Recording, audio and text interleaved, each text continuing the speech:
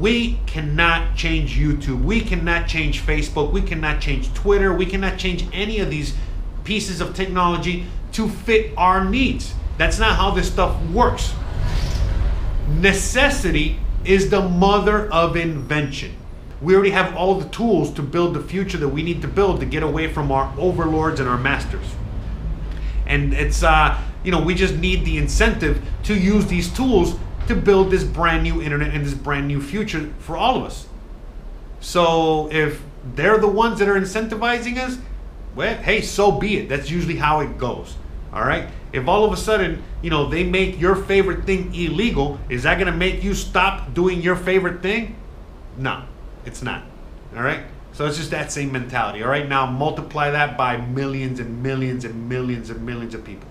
Yeah, exactly. You know, when it comes to like government intervention, it does, and the government doesn't really have a great track record um, to any of this stuff. Um, I'll just give you an example that we all know off the top of our head, but the war on drugs. Hey guys, how's it going? And welcome back. Today we're going to be talking about those new FTC rules that have been set for YouTube. What am I talking about? If you guys haven't heard yet, um, the FTC, the Federal Trade Commission, has uh, created these new rules that YouTube has to abide by. And not just YouTube, but every YouTube creator now has to abide by. Now, most people have already heard about these new COPPA rules. This uh, this legislation called COPPA that was passed in the 90s and now has been, you know, rectified to fit the times.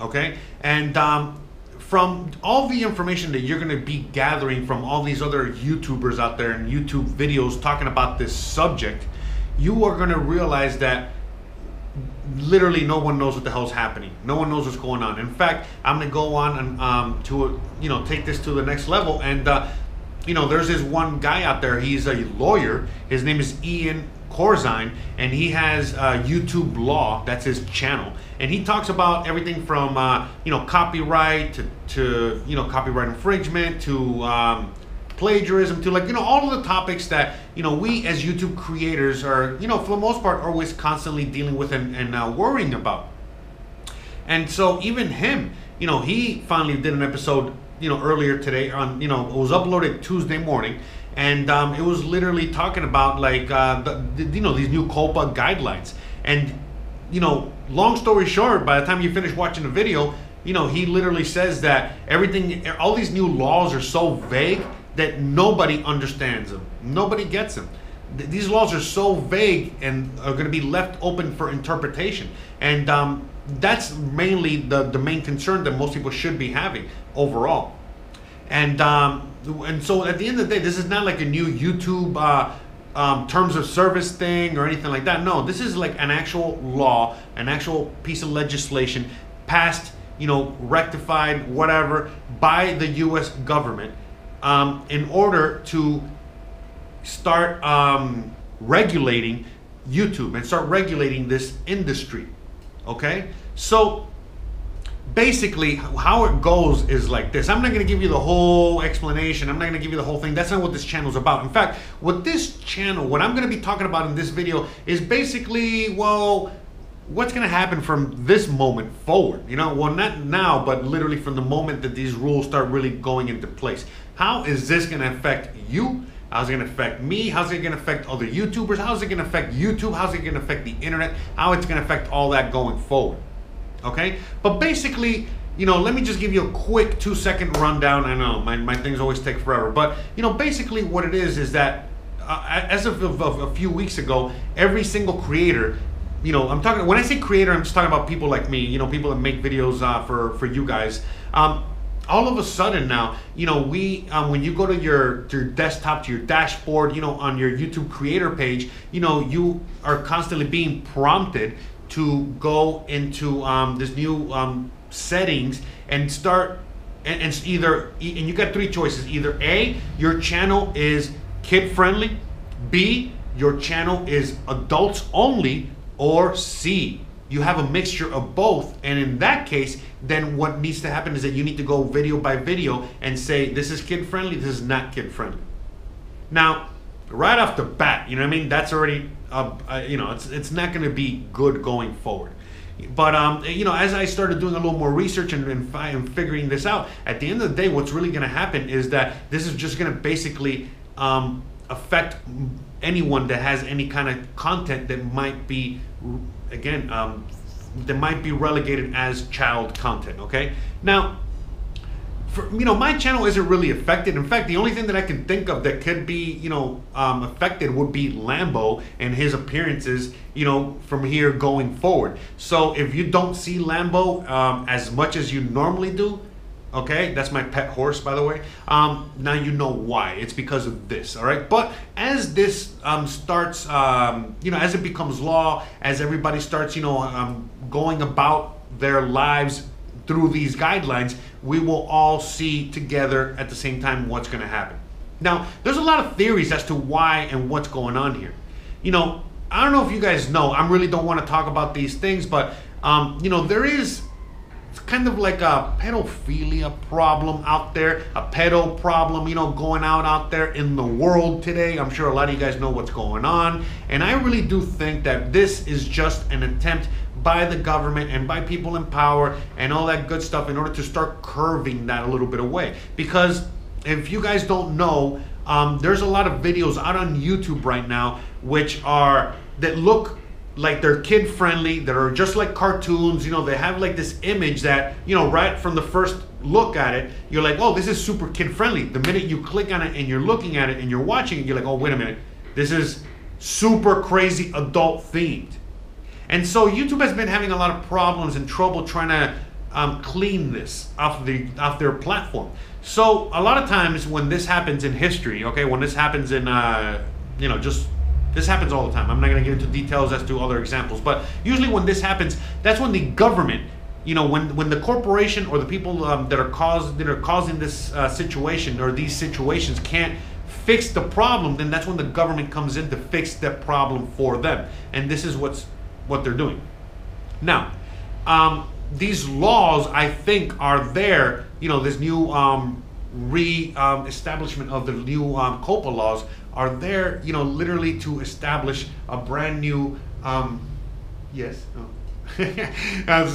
Are, are there to establish a brand new protocol going forward when it comes to a lot of these things.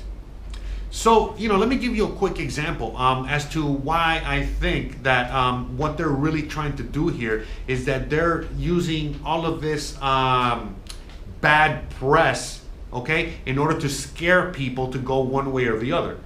So, again, for anyone out there that's in public relations, uh, marketing, any any of that stuff, you guys know fully well there's no such thing as bad publicity. Notice that you're not you're not seeing YouTube you know, sweating or, you know, you don't see YouTube worrying about any of this. You don't see anyone really worrying about this except creators. And the fact is that everyone's worrying about it. So, like, for example, even a channel like mine, I'm not that worried about it, but because of my community being so worried about it, all of a sudden, in turn, it makes me worry. When I see someone that has a channel that is dedicated to just talking about YouTube law and they're worried about it, then it makes me, you know, obviously want to, you know, look into this a little deeper, henceforth why I'm making this episode. I'm just out here just spitting thoughts and throwing theories out there as to what could be happening. Now, what I think is happening is, is uh, there's a lot of reasons, there's a lot of things that, you know, as to what why I think what what is happening here. But honestly, this is what I think is happening. YouTube has this thing called YouTube Kids. And um, it seems like they've been trying to push this for a while and they're trying to get into, you know, I don't know how it works per se, but, you know, maybe migrate, you know, all the kid friendly stuff or anything that might be kid related towards that space and keeping a, a, a, definite line in the sand between kid content and adult content. So basically, every single channel that has any kind of kid related stuff on them or any kind of video with kid related anything, all of a sudden they are not going to be able to use YouTube the way it's supposed to be. You know, not only are they not going to be able to monetize their videos, they're not going to be able to do like so many things. I'm not going to get into details because most of you guys are not creators, you guys don't care. But they're just all of a sudden, all these things are being taken away from them. It doesn't seem fair. Um, and remember, I don't make any content made for kids or anything like that. So to me, it's like, you know, I'm just looking at it from a, an outside perspective. But now looking at it from a business side perspective, what's happening here from my estimation, we don't know. We'll see in the future as this develops. But I think that what's happening is that YouTube is deciding that they are going to become an adult only site. What do I mean by adult only? I'm just talking about anything that's 13 years and 13, 13 years old and above. So anyone above that is um, declared an adult or you know can watch adult themed uh, content according to the FTC rules, according to the government rules. Okay, so what I think YouTube is doing is not only helping is um, you know helping its creators not get in trouble with the FTC and the government, but also protecting their own ass, and at the same time creating two completely different things. Because just like Disney created Disney Plus, you know, it would be very smart, okay, from from a YouTube from a you know from business pers- from a business perspective, for YouTube to all of a sudden create their own, not only their own YouTube Kids um, platform, you know, meaning a YouTube Kids only um, app, YouTube Kids um, platform, YouTube Kids servers, the whole thing, you know, meaning that, you know, once when you upload a video, it goes into, you know, the YouTube Google servers. But literally going the extra route of creating a completely separate building with completely separate servers to just house the kid friendly stuff.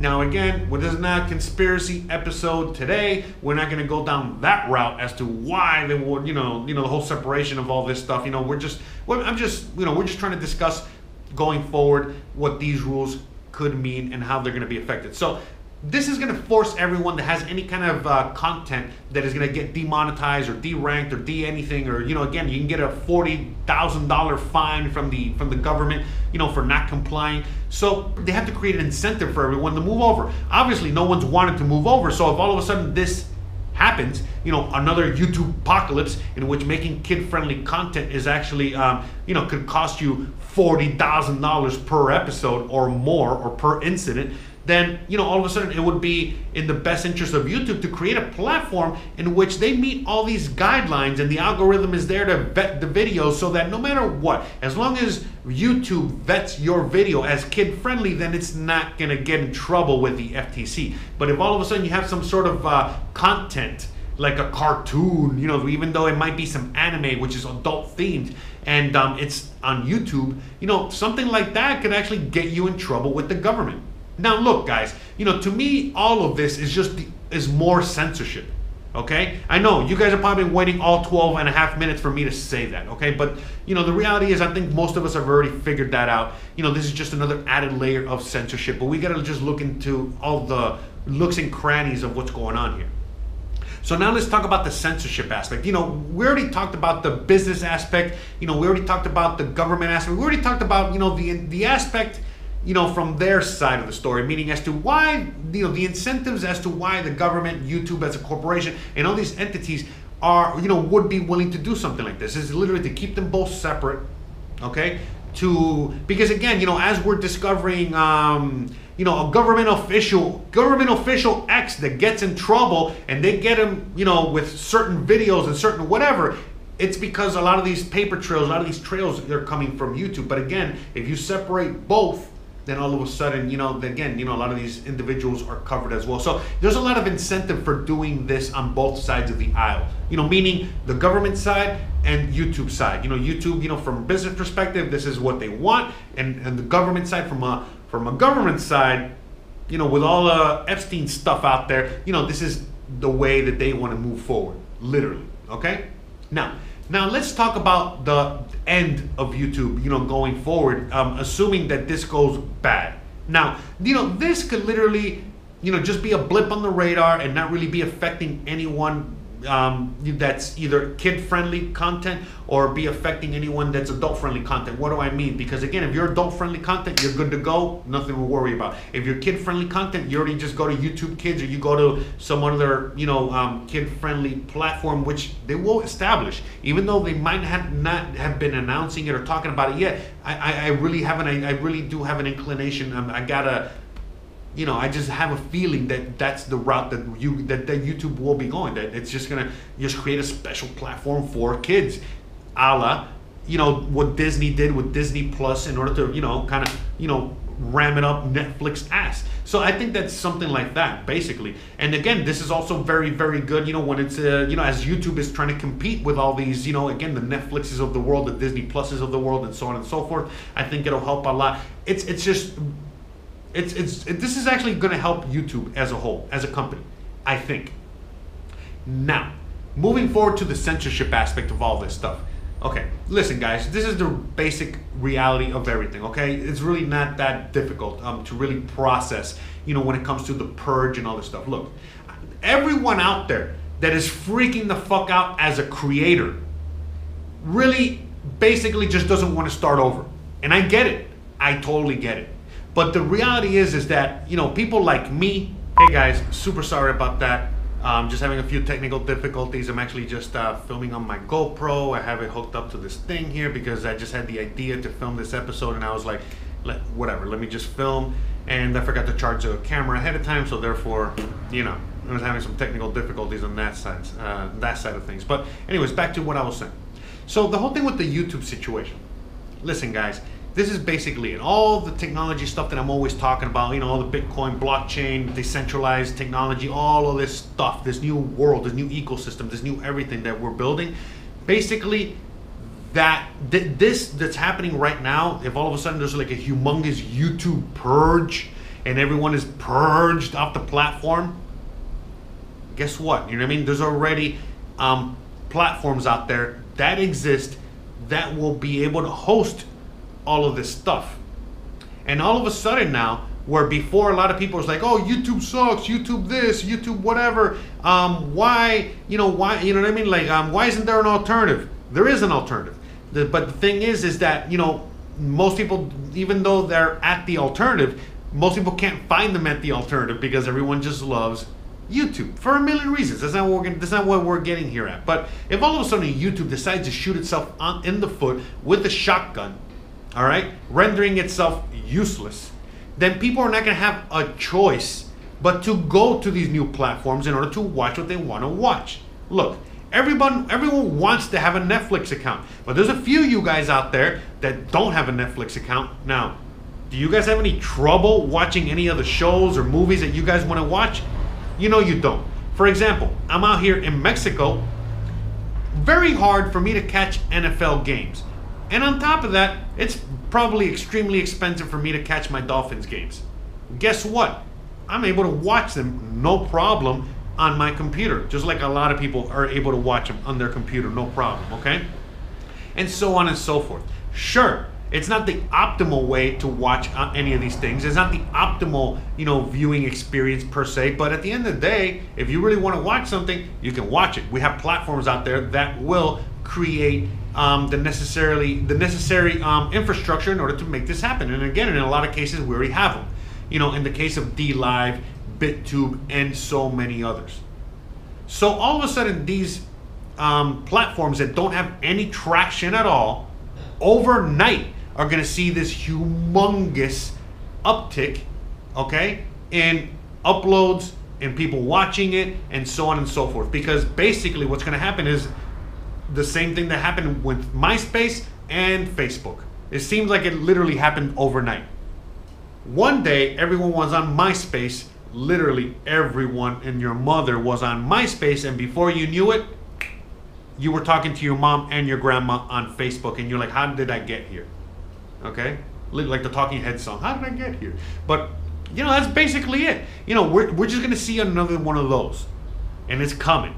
We can see it it's it's if it's not this COPPA stuff, it's going to be something else, and so on and so forth. All right, and uh, you know when these new rules and regulations, you know that are now established by the government, they are trying to get, be ahead of this wave because again, all of a sudden, you know, you are on another platform, a decentralized platform. For example, me, I'm Jose Arteaga, and I'm on a decentralized platform, and I do a video with Lambo, my horse, you know, my fake plastic horse, again, adult themed, but the government is the one that gets to choose if that video is adult friendly or kid friendly.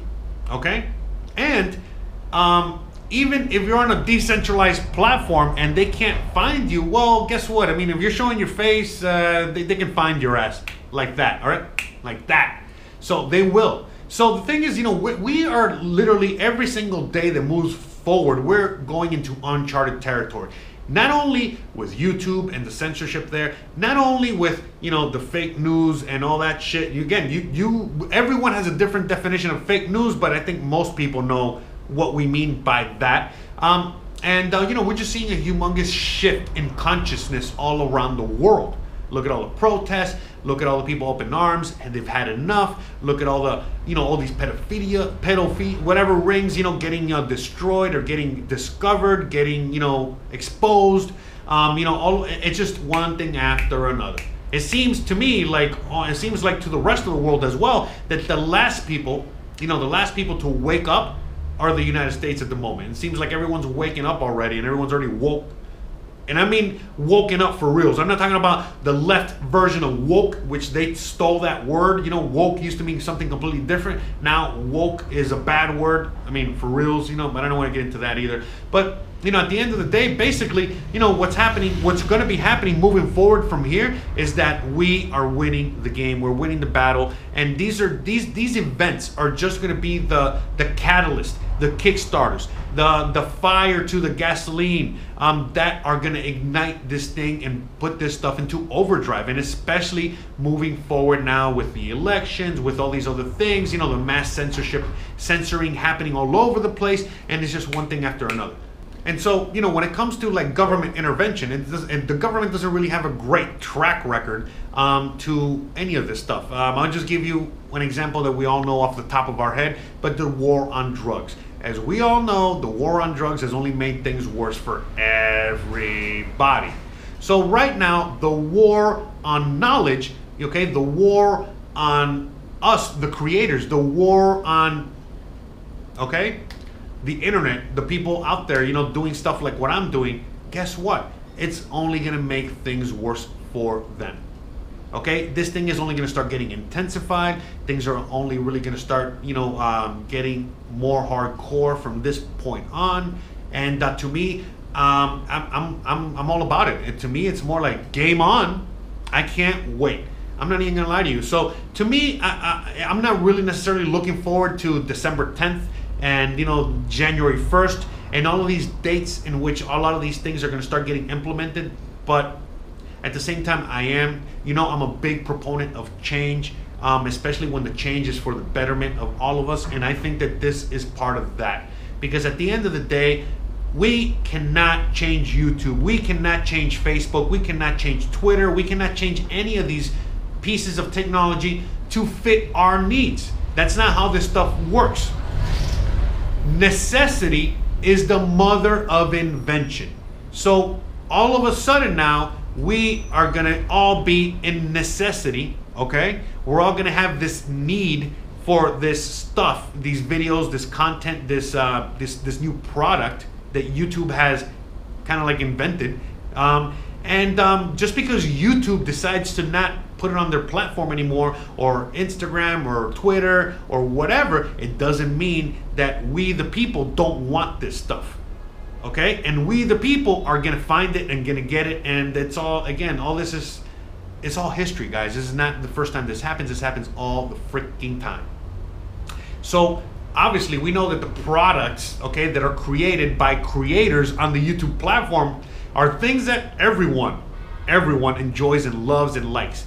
If all of a sudden YouTube decides to get rid of that, or in the, in the case of what's happening now, the government decides for YouTube what it's going to get rid of and what it's not going to get rid of, then we, the people, have to again take measures into our own hands and move you know not just progress and technology and all this stuff forward but you know we we will do it. You know what i mean? It's not about you know when it's about how we're going to do it and you know, again, right now, um, it seems like an impossible task because everything at the beginning seems like an impossible task. But for all of you guys out there that know what's up, the reality is is that everything always seems insurmountable. Everything seems impossible at first, but once you're done, once you're you know going, you realize, oh man, I should have done this a long time ago. So I think that honestly, basically, the only thing that everyone's afraid of is a massive YouTube purge.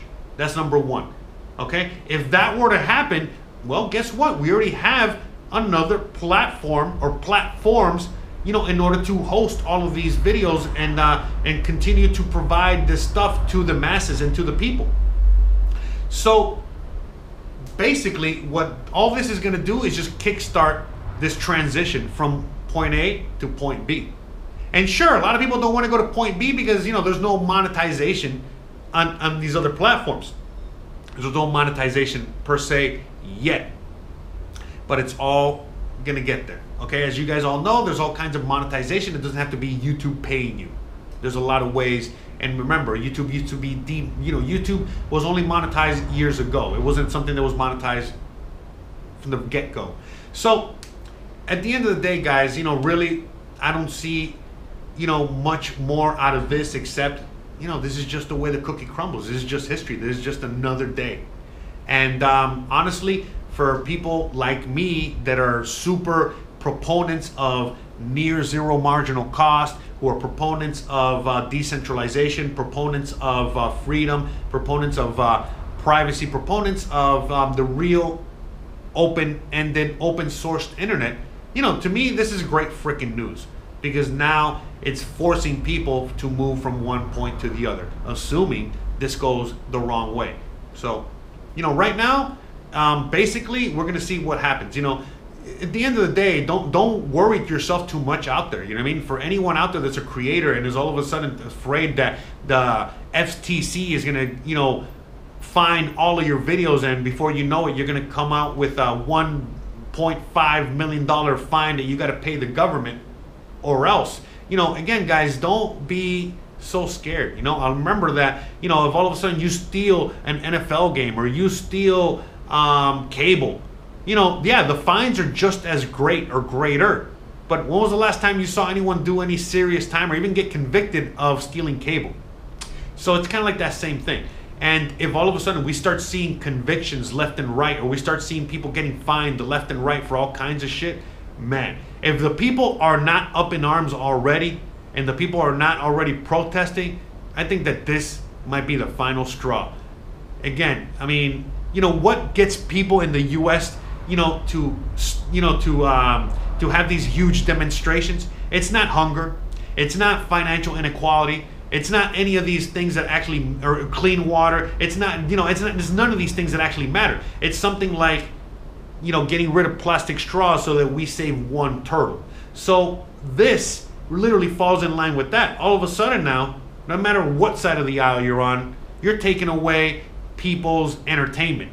And guess what? People don't like or people don't take too kindly to that. So if all of a sudden we start seeing a massive purge, we start seeing this in a very, very, very negative, uh, you know, route. You know, we start seeing this go down the very negative uh, street. It's only going to serve the betterment of humanity going forward. Because that's it, guys. You know, at this point, we already have all the tools to build the future that we need to build to get away from our overlords and our masters. And it's, uh, you know, we just need the incentive to use these tools to build this brand new internet and this brand new future for all of us. So if they're the ones that are incentivizing us, well, hey, so be it. That's usually how it goes. All right. If all of a sudden, you know, they make your favorite thing illegal, is that going to make you stop doing your favorite thing? No, it's not. All right. So it's just that same mentality. All right. Now multiply that by millions and millions and millions and millions of people. Yeah, exactly. All right. We're in for some very, very exciting times. 2020 is already going to be uh, fucking, you know, a crazy year. It's starting off, it's already going to be kickstarted by something like this. We got the elections, we got so many things down the pike, you know, the economy tanking and just, you know, all the protests happening around the world. And now this. And again, we still have a month and a half left in the year to see how what, what other stuff is going to come out of all this. But anyways, guys, thanks again for watching. Don't forget to please like, please subscribe, please share, please hit that bell icon. I really hope you enjoyed this content and enjoy all the content on this channel. If you do, you already know what to do. Watch another video and um, share this video and um, yeah, do all that stuff. Guys, I love you. Check out the sponsor at the end of this video and uh, more importantly than anything else, don't forget to stay awesome. Thanks again for watching and uh, see you guys tomorrow. Bye. Hey guys, me and Lambo are still here. Show's not over. Just wanted to give you guys a quick reminder to please check out the online store where you can find all kinds of awesome merch. Also, check out josearteaga.com where you know it's the website for me and all this other stuff. So also you know check out discord. It's an online community in which everyone all my fans hang out. Again just you know look at the click at the link at the bottom description of every video here um, where you can just join the community and join and continue the conversation where we talk about you know all this and beyond so please don't forget to check us out there. Check me out on Instagram. Check me out on Twitter. Check me out everywhere. In fact, always look at the description of every video. You can find all kinds of stuff at the bottom of the description of every video. Again, I'm always giving you all kinds of goodness. So, you know, whether you're checking the description of the video or whether you're watching the next video, which you're gonna see some here now, you're gonna have all kinds of fun. So again, thanks again for watching and I'll see you guys when you